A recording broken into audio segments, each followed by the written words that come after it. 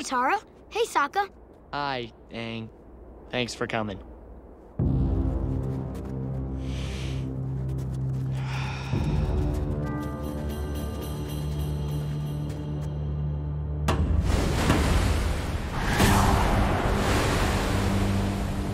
Looking for me?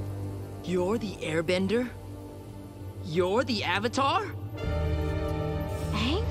No way. I've spent years preparing for this encounter. Training, meditating. You're just a child. Well, you're just a teenager. Ah!